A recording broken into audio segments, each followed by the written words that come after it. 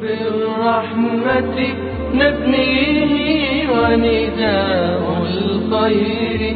نلبيه راح للرأفة عنوان حمدا للمولى. نزيه من بسم اللہ يزرع الرحمن الرحیم خيرا. حضرات اس وقت میں پنگانی کے ایک گاؤں میں موجود ہوں۔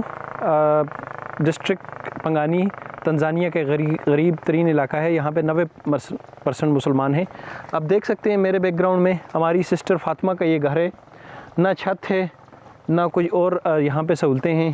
یہ اس کی تمام مالکیت ہے، یہ تین چار بچے ہیں اس کے۔ اب دیکھ سکتے ہیں کہ یہ بیچاری کس طرح یہاں پہ رہ رہی ہے، کس کس قسم پرسی کی زندگی گزار رہی ہے۔ جہاں پہ نہ کچھ کھانے کو موجود ہے، نہ پینے کو موجود ہے، نہ بجلی ہے، نہ چھت ہے اس کے سر پہ۔ ایسے حالات میں یہ رمضان آنے والا ہے، ابھی رمضان کو چند دن باقی ہیں۔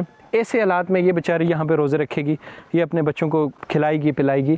آپ دیکھ سکتے ہیں کہ وہ بیچاری صرف یہاں پہ پکانے کے لیے، کھانے کے لیے صرف یا تو کوکونٹس ہیں یا یہاں پہ گرین ویجیٹیبلز ہے جو یہاں پہ لوکل اگتی ہے۔ اس کے علاوہ یہاں پہ کچھ بھی نہیں ہے۔ تو یہ مسلمان بہن بھائی ہیں ہمارے، یہ اس حالت میں رہ رہے ہیں اور ابھی رمضان آنے والا ہے۔ تو میری گزارش ہے تمام بہن بھائیوں سے کہ ہم ہمیں سب سوچنے کی ضرورت ہے۔ یہ ہم سب کے لیے لمحہ فکریہ ہے کہ ہم سوچیں۔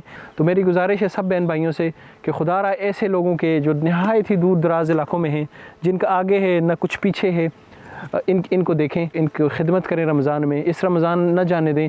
ایسے لوگوں کے ساتھ اپنا اپنی خوشیاں شیئر کریں، اپنے وسائل شیئر کریں تاکہ یہ بھی لوگ لوگ رمضان میں یہ میری بہن فاطمہ، رمضان میں کچھ کھا سکے، کچھ پی سکے تاکہ ان ان کھیتوں میں کام کر سکے، کر کے ان اپنے بچوں کا پیٹ پال سکے۔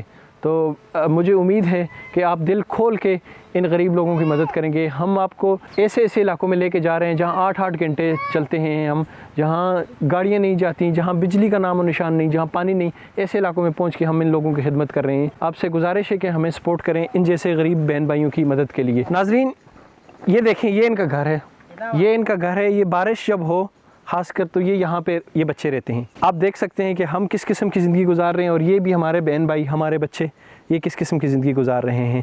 جب موسم صاف ہو تو یہ باہر سوتے ہیں، جو ابھی آپ نے دیکھا۔ جب بارش ہو تو یہ بچے یہاں پہ اندر سوتے ہیں، اس جگہ پہ سوتے ہیں۔ آپ دیکھ سکتے ہیں، ان کے شوز دیکھ سکتے ہیں، ان کا اسکول کا بیگ دیکھ سکتے ہیں، ان کے کپڑے اندر دیکھ سکتے ہیں۔ ان کا ان کا یہ چھوٹا سا ان کا گھر ہے۔ یہ ایسی ایسی دنیا رہتی ہے افریقہ میں ہمارے مسلمان بہن بھائی رہتے ہیں، تو میری گزارش ہے آپ سے کہ دیکھیں آ کے اس قسم کے لوگوں کی مدد کریں۔ یہ حقدار ہیں، یہ لوگ آپ کی مدد کے تو مجھے امید ہے کہ رمضان میں آپ ان جیسے بچوں کو بھوکا نہیں سونے دیں گے۔ رمضان کے علاوہ بھی آپ ان بچوں کو اکیلا نہیں چھوڑیں گے کہ یہ بھوک سے، اگر آپ اکیلا چھوڑیں گے، یہ بھوک سے مر جائیں گے۔ اور یہ ہمارے لیے نہایت ہی لمحہ فکریہ ہوگا کہ قیامت کے دن ہم نبی پاک صلی اللہ علیہ وسلم کو اپنا کیا منہ دکھائیں گے کہ ہمارے پاس وسائل تھے ان بچوں کو بچانے کے لیے بھوک سے، بارش سے، دھوپ سے، لیکن کیا ہم نے ان کو بچایا؟ یہ سوال ہم سے کیا جائے گا؟ تو میری گزارش ہے تمام بہن بھائیوں سے کہ دل کھول کے مدد کریں ان جیسے بچوں کی۔